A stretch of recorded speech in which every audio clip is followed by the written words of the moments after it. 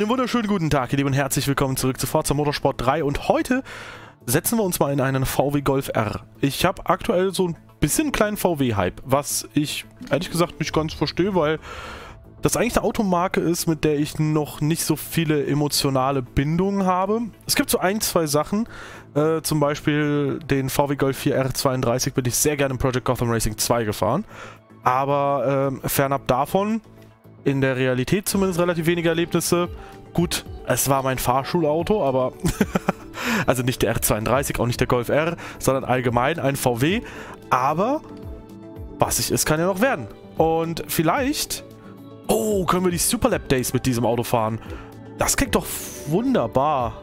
Oh mein Gott, Fujimi Kaido, Full Circuit. Okay, sehr geehrte Damen und Herren, das ist einer der krassesten Kurse, den es in Forza Motorsport allgemein gibt. Also Forza generell, gut, bei Forza Horizon gibt es ja nicht so krasse Strecken, da sind die Werte, auf die ja ähm, ein Auge geworfen wird, ganz andere.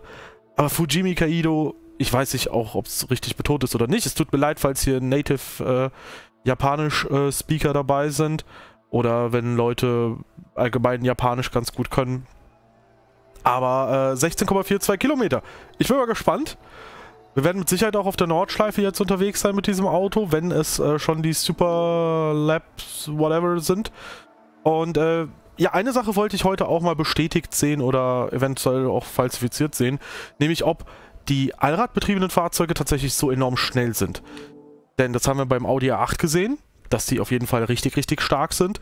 Und äh, jetzt können wir beim Golf R, was auch ein allradbetriebenes Fahrzeug ist, auch mal gucken, wie der jetzt so abschneidet.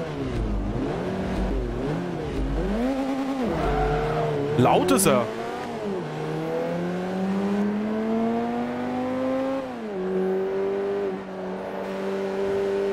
Boah, schön außenrum vorbei. Der ist echt laut.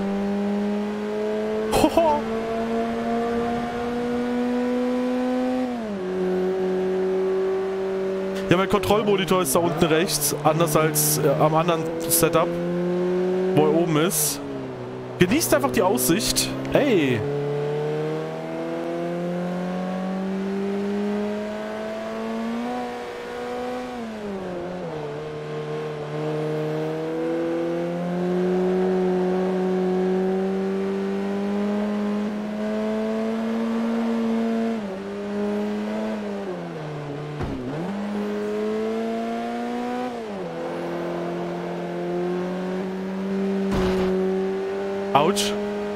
Sorry.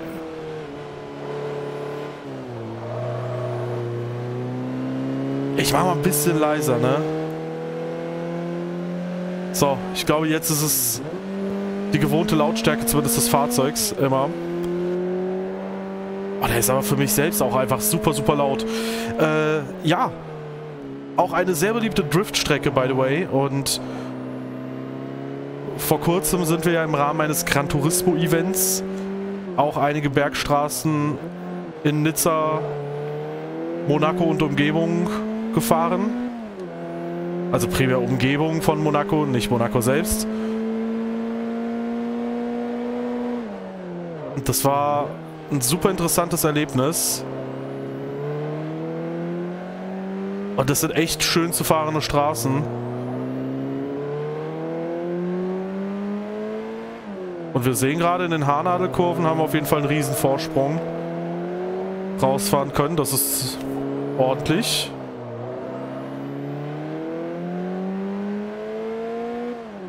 Ja, die Haarnadelkurven, die waren für uns sehr gut. Ah, hier sehen wir die Antriebe leider nicht mehr. Der S4 dürfte heckbetrieben sein, oder? Anyway, jetzt wird ordentliche Dampf gegeben. Mal gucken. Vollgaspassage. 3,4 Sekunden der Abstand. Ja, es ist ein bisschen schade, dass so Straßen oder Strecken nicht mehr in Forza Motorsport 5, 6, 7 in der Form existiert haben. Also just Fujimi Kaido oder Kaido war, glaube ich, so eine Strecke, die es so in der Form halt jetzt nicht mehr gibt. Oder die es halt danach nicht mehr gegeben hat. Vielleicht in Forza Motorsport 8, wer weiß. Was ja nur noch Forza Motorsport heißen wird. Aber es ist auf jeden Fall... Ja, Tunneltest bestanden. Ähm, es ist auf jeden Fall eine sehr, sehr, sehr, sehr schöne Strecke. Von dem gesamten Artstyle her und so und auch ganz wilder Streckenverlauf. Und ich kann mir auch vorstellen, wenn die Xbox hat es in Japan zum Beispiel immer schwer gehabt. Ich weiß gar nicht mehr, ob die Series-Konsolen so groß noch da vertrieben werden, aber vielleicht hat diese Strecke just für ein paar japanische Spieler mindestens mal ein Kaufargument gegeben für eine Xbox 360. Könnte ich mir vorstellen, wobei dann natürlich die Frage ist, lohnt sich das für die paar Leute, die sich das dann extra noch holen werden?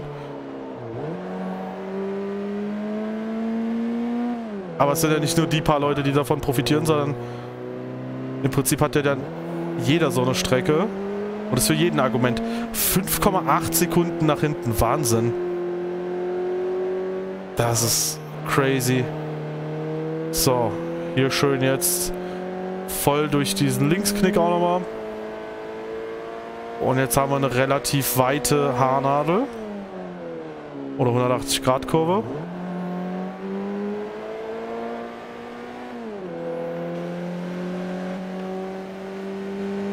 Ist aber ein schickes Auto, der Golf R, ne? Eine Sache, an die man sich vielleicht gewöhnen muss, ist, dass die Auspuffendrohre da so dicht beisammen sind, aber nicht komplett zusammengewachsen sind. Ich mag es ja häufig zumindest eher, die ein bisschen außen so positioniert sind. Aber es gibt auch Autos, da passt es einfach sehr gut, wenn sie dann schön mittig sind. Ich denke gerade zum Beispiel an den 458 Italia, wo man ja drei Auspuffendrohre in der Mitte des Fahrzeugs, des Fahrzeugs, des Hecks platziert hat. Was ich auch sehr schön finde.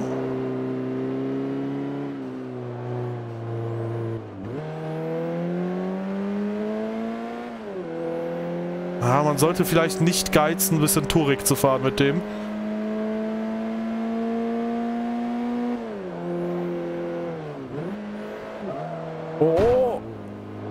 Oh, ich habe den Schaden aus. Okay, das erklärt, warum ich jetzt gerade keinen Schaden bekommen habe. Weil bis jetzt hätte ich gedacht, okay, vielleicht habe ich dadurch, dass das Auto eher an der Leitplanke entlang gestriffen ist, keinen Schaden gehabt, aber das hätte definitiv Schaden bedeuten müssen. Oh, jetzt kommen auf jeden Fall viele, viele Kurven. Die Strecke ohne Ideallinie wäre auch wild.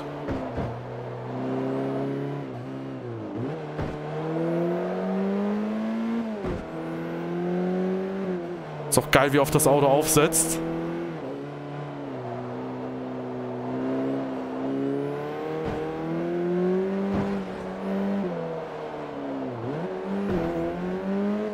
Eieieiei.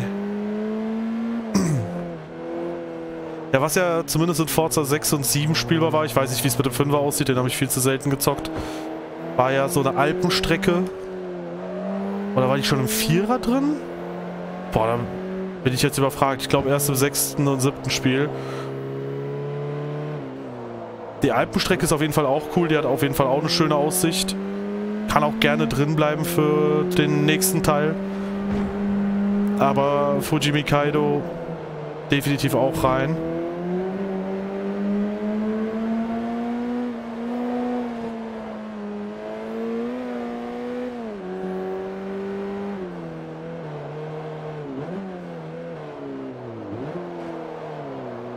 Auf so Bergstraßen ist mir tatsächlich auch zum ersten Mal schlecht geworden beim Autofahren. Respektive als Beifahrer. Was ich auch technisch gesehen unter ja, Autofahren zählen würde, weil ich bin ja mitgefahren quasi. Mit dem Auto dabei gewesen und äh, die Nacht davor war nicht allzu lang. Wir hatten am Abend davor, das war halt just auch wieder Thema Gran Turismo Event, äh, wir hatten ein Menü mit sehr vielen Gängen, mit sehr vielen verschiedenen Geschmacksrichtungen, wo man sagen kann, hey, es sind teilweise sehr intensive Geschmäcker gewesen, die man so nicht kennt. Zum Beispiel so Foie Gras, Gänsestopfleber heißt es, glaube ich. Habe ich noch nie gegessen, glaube ich, vorher. aber auch andere Geschmäcker, wo man halt merkt, okay, das ist sehr intensiv. Ob es für einen ist oder nicht, weiß man nicht. Ich glaube, die Leute, die irgendwie so geschmacklich einfach sagen, anything goes, so, hey, ich will einfach nur irgendwie interessante Geschmäcker haben, für die ist so ein vielgängiges Menü sehr, sehr gut gemacht. Für mich war das vielleicht ein bisschen too much. Und vor allem am nächsten Tag.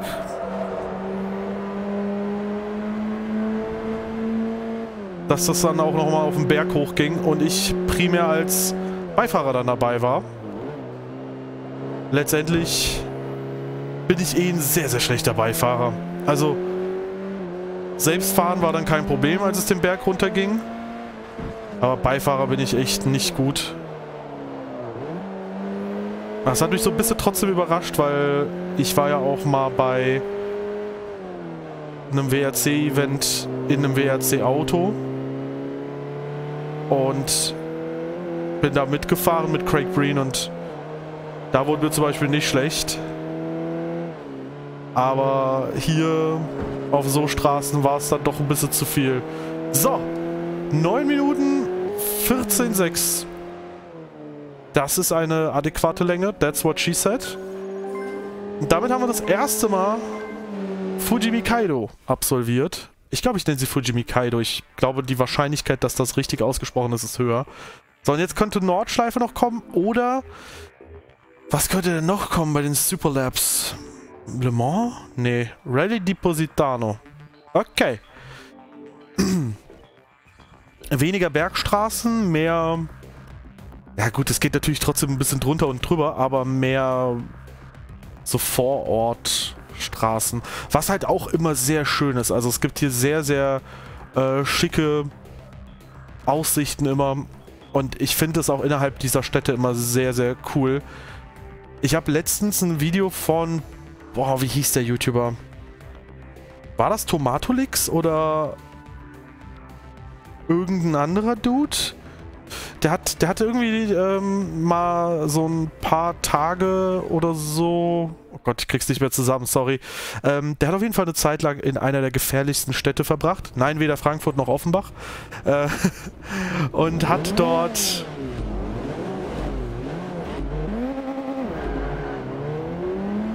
auch ein Video zugemacht.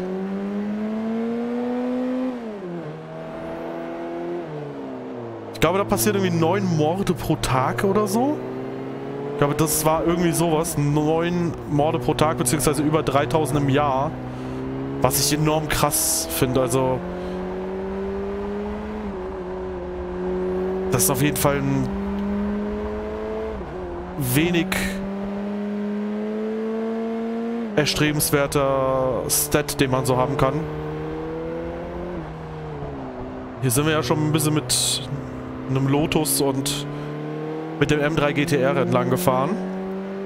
Das waren diese Events mit den drei Läufen. Mit Viertel, Halb und Finalläufen.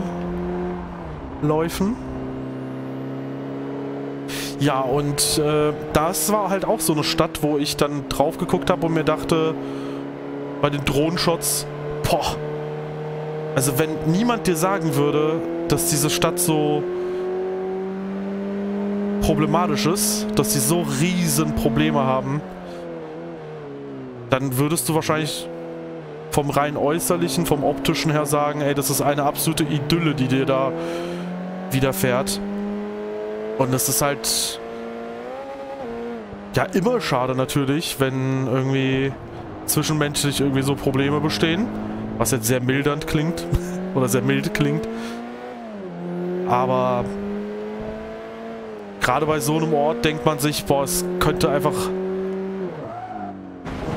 Bei sowas denkt man sich dann immer, ey, der Ort allein, der dürfte doch schon so viel Ruhe einem bringen und so viel Positives einem bringen, dass, dass man doch gar nicht so auf doofe Gedanken kommt. Auch wenn das jetzt natürlich super irrational ist. Ne? Also nagelt mich auf jeden Fall nicht darauf fest. Ich weiß, dass, dass du kannst hunderte Probleme haben. Äh, der Wohnort ist da noch das geringste Problem. Unabhängig davon, was sich halt an Problemen ergibt, die die vor Ort entstehen durch sowas wie Banden und so weiter und so fort. Das ist ja klar. Aber ja, letztendlich crazy. Aber im Spiel kann nichts Böses passieren. Hier sind wir in einer Idylle, die definitiv hält, was sie verspricht. Und jetzt geht es hier tatsächlich auch auf Bergstraßen. Es geht bergauf. Ich hoffe, dass mir jetzt nicht ein bisschen schlecht wird. ja, was ich auf jeden Fall auch cool finde, ist, dass so Touren auch angeboten werden bei verschiedenen Fahrzeugherstellern. Wo man dann auch irgendwie verschiedenste Orte besuchen kann und was auch richtig, richtig schön einfach ist. Wo ich auch gedenke, sobald ich mal irgendwie, keine Ahnung, einen kleinen Renner aus Maranello oder so habe, dann äh, wird definitiv mal so ein Ort besucht, so ein Tour besucht. Und vielleicht nimmt man da jede Tour einfach mit. Weil schön ist es auf jeden Fall und warum nicht? 6,7 Sekunden. Ich schätze mal, der Audi ist wieder vorbei. Ja, der Audi S4. Krass, der Audi S4 ist mit 10 Leistungspunkten weniger. Äh, spürbar schneller als der Mercedes C32 AMG. Enorm. Bei AMG finde ich ja eine Sache lustig. Früher hattest du 32 AMG und 63 AMG. 55 hattest du auch.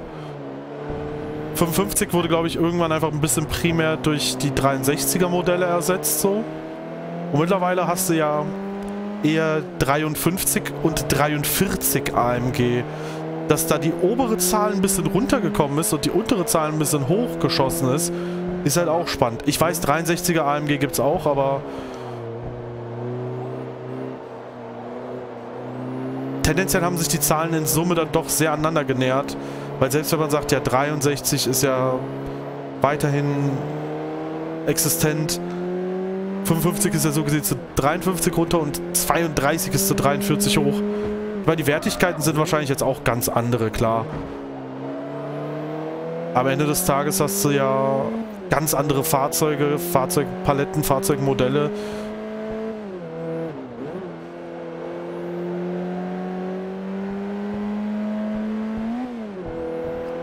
Und ich weiß auch, dass es früher bei AMG natürlich auch 65er AMG gab.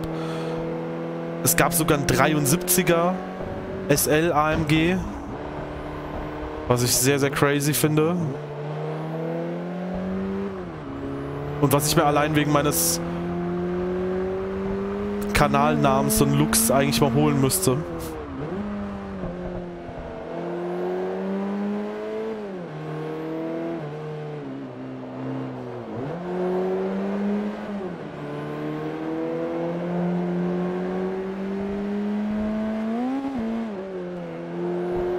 Aber ich muss eh sagen, während ich halt früher sehr viele Fahrzeugmodelle teilweise auch anhand der Auspuffe oder so die Motorisierung erkennen konnte und eigentlich die ganze Palette kannte von verschiedenen Herstellern, ähm, bin ich heute relativ schnell raus. Es sei denn, ich beschäftige ich mich halt auch wieder aktiv mit dem Hersteller. Ich habe in den letzten Folgen ein bisschen mal über Porsche, ein bisschen über Ferrari, ein bisschen über... Boah, welche Hersteller noch gequatscht? Keine Ahnung. Äh, das waren so die zwei primären Hersteller, mit denen ich mich beschäftigt habe. Mit Audi habe ich mich auch beschäftigt, bezüglich des R8. Und da bist du halt ganz schnell wieder drin, aber wenn es jetzt zum Beispiel darum geht, was hat Mercedes in seiner Palette, was hat teilweise BMW in der Palette, da bin ich halt ganz schnell wieder raus und da muss ich mich erstmal überhaupt wieder einlesen, ehe man da wirklich drin ist. Aber ich denke, dass man auch da wieder reinkommen kann und dann auch einfach diese Feinheiten erkennt, bei Audi mit dem R8 finde ich zum Beispiel interessant, da gibt es halt so viele verschiedene Motorisierungen. Also du hast 540, 570 PS Motoren, allesamt V10er übrigens. Also es sind keine V8er mehr, falls jemand sagt, ja das könnte auch die V8-Variante sein. Äh, es gibt von den letzten paar Jahren welche mit 540, 570 PS. Das 570er sind glaube ich die heckbetriebenen Autos, die aktuellen. Du hast welche mit 610 PS, 620 PS. Aber das ist halt so ein absolutes Kuddelmuddel. Das geht so drunter und drüber bei denen. Oh, das ist schon die Zielflagge. Nach weniger als sieben Minuten. Das ist auf jeden Fall schon irgendwie ganz lustig. Oh, oh, nicht gucken, was für ein Auto es ist. Ich will mich überraschen lassen. nicht schauen, was für ein Auto es ist. Dadurch, dass ich einen Golf R gekauft habe, laufen wir auch nicht Gefahr, dass wir, oh, ein Auto kriegen, was wir schon haben. Weil tendenziell sind wir schon bei Leistungspunkten jetzt bei den Preisautos, wo der Golf R drastisch drunter ist. Oh, der TVS Sagaris. TVR ist auch so eine Automarke, die vielleicht ein bisschen, wie soll ich sagen, ein bisschen Pech hatte vielleicht. Ich habe ja schon hin und wieder so ein bisschen über dieses Thema mit Hypercars gesprochen. Ich kann mir vorstellen, wenn TVR so 10, 20 Jahre später ähm, wirklich versucht hätte, so an den Markt zu kommen, äh, dann hätten sie vielleicht ein bisschen das schaffen können, was so ein Pagani aktuell auch schafft. Ich weiß ehrlich gesagt nicht viel über die TVR-Firmengeschichte äh, und ob die überhaupt noch aktuell bestehen. Aber für mein Empfinden ist es dann halt schon immer so, dass sie recht exklusive Sportwagen immer gemacht haben. Nie so in dieses krasse obere Preissegment gegangen sind, sondern dass es immer noch so ein bisschen tendenziell im Rahmen der Sportwagen Budgetautos waren. Aber ich fand es dann halt auch immer spannend, äh, TVR so ein bisschen zu beobachten von außen.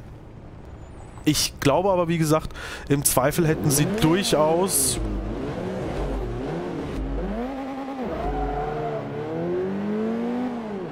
mit aktuellen Trends auch vielleicht hier und da mehr Gewinne einfahren können. Wie gesagt, ich glaube zum Beispiel so ein Pagani, da habe ich schon ein, zwei Mal drüber gesprochen.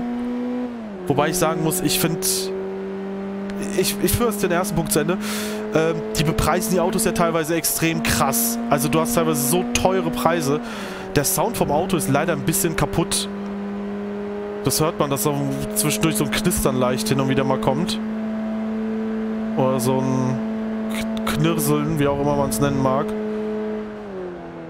Ah. Einer hat nicht geliftet. Der andere fährt Audi S4.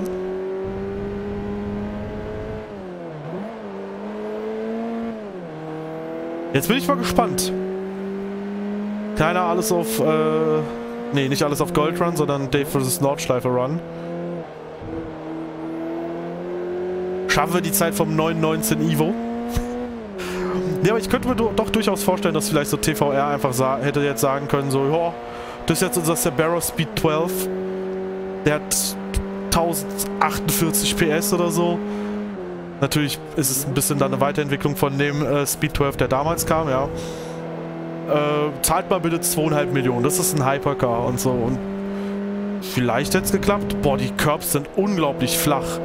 Das zählt jetzt schon als Off-Track. Interessant. Ich kann mir aber auch vorstellen, so ein Golf R ist halt auch ein richtig geiles Track-Tool, ne? Ich habe tatsächlich auch überlegt, ich habe jetzt schon mal ein, zwei Mal drüber gequatscht bezüglich eigenem Fahrzeug, was ich mir kaufen wollte. Äh, ich habe auch überlegt, was so eine Möglichkeit wäre für ein Einsteigerauto. Oder falls man sich so einen schönen Exoten holt, ob man dann nicht eventuell noch ein kleines Auto so als quasi Daily-Auto nehmen könnte, während das andere halt primär für so Touren verwendet wird. Und da habe ich tatsächlich auch mal zum Beispiel an so einen Golf R32 gedacht, so ein Golf 4 R32.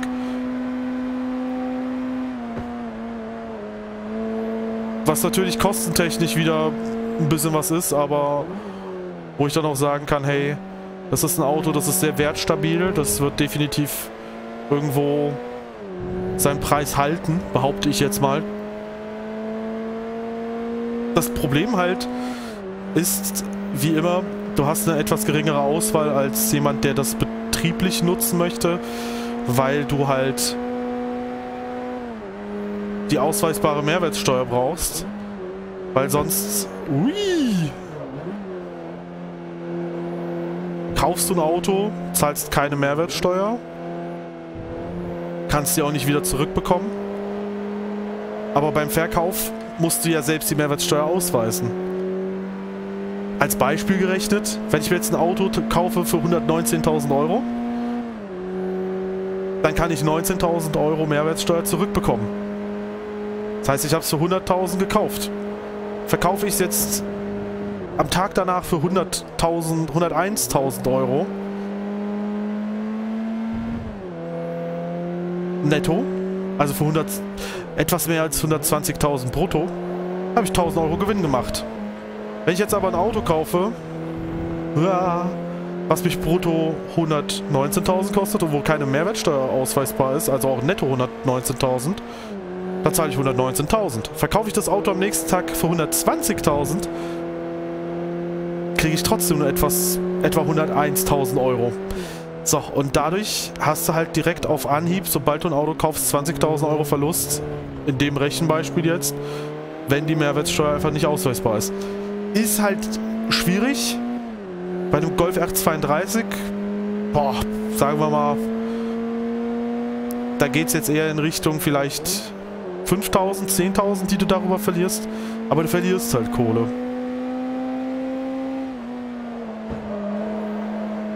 schön, wie er im dritten nochmal nicht an Zug verloren hat, wie es trotzdem noch mal voranging. Ja, das Auto gefällt mir sehr, sehr gut. Also, schönes Track-Tool. Ich sollte... Ich sollte nur nicht nach hinten schauen, weil dann äh, ist die Audio vielleicht ein bisschen broken. Ah, hier geht es ja auch steil bergauf.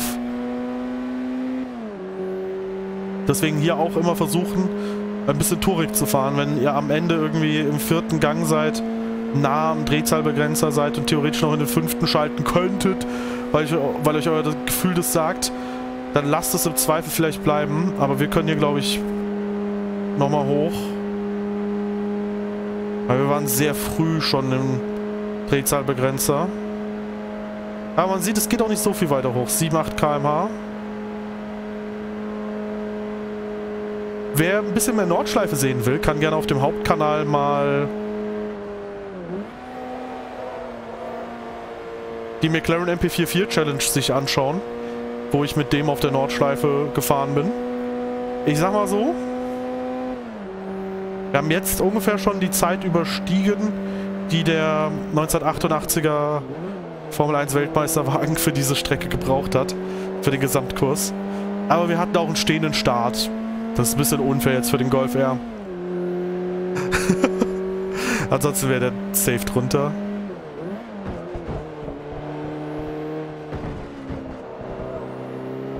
Hier fühlt er sich ein bisschen sehr, sehr komisch und schwabbig an. Wobei die Frage halt ist, ist es nicht das Handling allgemein.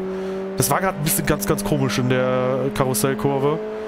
Weil ich hatte irgendwie ein sehr indirektes Gefühl. Was die Nordschleifenumsetzung angeht, muss ich übrigens sagen, ich meine, klar, jedes Spiel hat so seine eigene. Ich habe am meisten Spaß aktuell mit der Gran Turismo 4 Version der Strecke und finde die sehr schön, weil du diese ganzen Kreidebemalungen und so in wirklich, wirklich sehr, sehr bunter Form hast. Also wie gesagt, vielleicht hat sich das über die Jahre verändert, aber bei Gran Turismo 4 habe ich am ehesten noch das Gefühl, dass das quasi so ein... Nicht nur eine Rennstrecke ist, sondern auch einfach eine Touristenattraktion. Bei Forza ist es auch noch recht üppig, was die ganze Bemalung angeht. Aber bei vielen anderen Spielen ist mir das viel zu trist. Und die, ich sag mal, in Anführungszeichen schönste, weil lustigste, cuteste Umsetzung, die finde ich, ist tatsächlich in Gran Turismo 4. Sagt natürlich nichts darüber aus, wie gut die Strecke vom Laserscan und so weiter und so fort her ist. Wo ich ja eh immer sagen muss, ich weiß nicht, ob ich da so viel drauf geben würde, wie gut eine Strecke laserscanned halt ist. Weil im Zweifel, weiß ich nicht.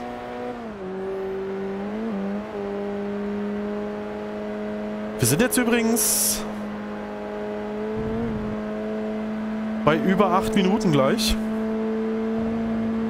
Als Auto wird mit einem fliegenden Start, würde ich behaupten. Also wenn wir wirklich die Döttinger Höhe mit einer ganz normalen Standardgeschwindigkeit entlang gefahren werden. Das ist halt jetzt der Touristenstart gewesen. Wir könnten hier locker, glaube ich, nochmal 5 Sekunden oder so schneller sein. Vielleicht sogar noch mehr.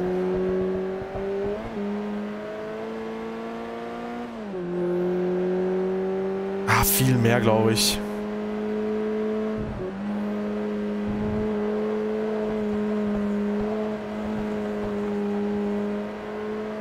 Aber das Fahrzeug könnte auf jeden Fall in Richtung unter 9 jetzt schon kommen. Frage ist natürlich, wie es mit den 10 Sekunden da noch ausschaut. Vielleicht bitte 10 Sekunden unter 9 Minuten. Das ist halt krass, wenn man bedenkt, wo man heutzutage halt ist, ne? So ein Porsche GT3 RS, der einfach unter 7 Minuten, deutlich unter 7 Minuten fährt. Dann noch der AMG One, der da auch nochmal drastisch drunter gekommen ist, so 6 Minuten 35 oder so hatte. Die Zeiten auf der Nordschleife purzeln halt auch echt äh, unfassbar. Unfassbar, unfassbar krass. So, 35.000 Bonus-Credits. Das äh, gefällt mir sehr gut. Es ist soweit das letzte Rennen einer anstrengenden Saison. Und das in Le Mans. Reimt sich auf Saison. Ähm, vielleicht sollten wir uns ein Fahrzeug anschauen. Ich habe jetzt kurz mal in Richtung TVS Sagaris nochmal geschielt. Aber vielleicht sollten wir uns ein Auto rauspicken, das einen sehr hohen Topspeed-Wert hat. In der A-Klasse. Das können wir vielleicht auch in der nächsten Folge machen, oder? Wollen wir diese Folge so abschließen? Ja, machen wir. In der nächsten Folge geht es dann nach Le Mans. Ich hoffe, ihr hattet viel, viel Spaß, werte Damen und Herren. Wenn dem so ist, lasst doch gerne ein Däumchen nach oben da, gerne ein Abonnement raushauen. Eure Meinung zum VW Golf R in die Kommentare. Und äh, er ist doch schön, er ist doch echt schick. Und wir sehen uns demnächst wieder.